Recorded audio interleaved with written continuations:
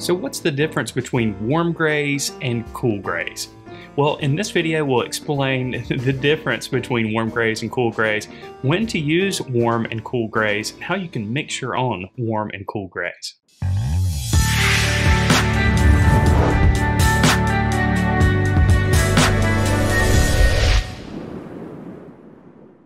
What makes a gray warm and what makes a gray cool?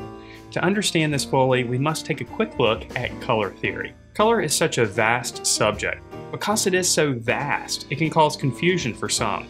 It doesn't help that some manufacturers of art materials name colors in a manner that makes things more complex than it should be. I receive a lot of questions about color theory, and with good reason. There's a lot of confusing information out there. But color theory doesn't have to be as complex as it may seem.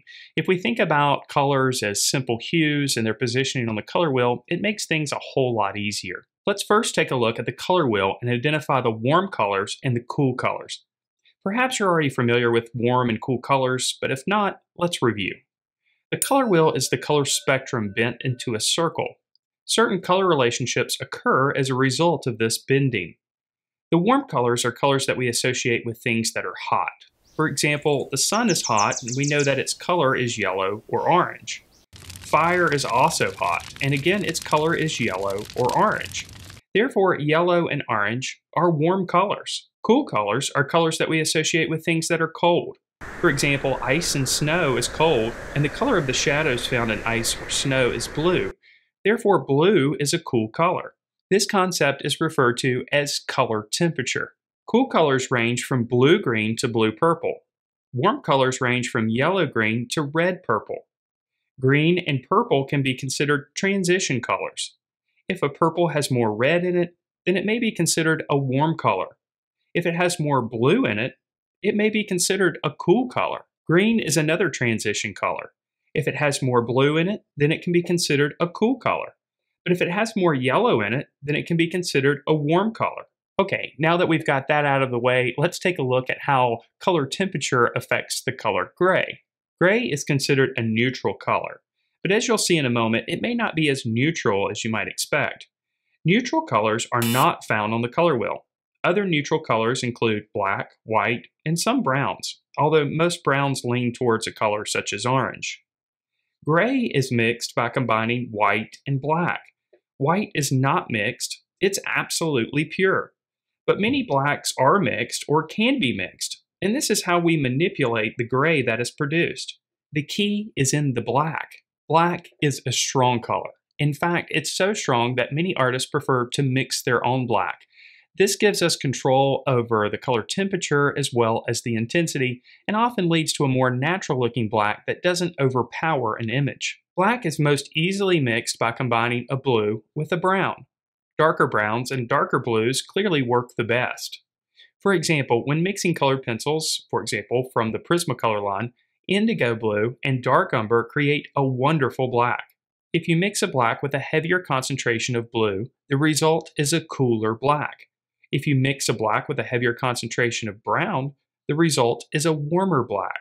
Blue is clearly a cool color, while brown leans towards orange, a warm color. Brown can almost be considered as a dark value or a shade of orange. Now, if we mix a cooler black with a white, the result is, you guessed it, a cooler gray.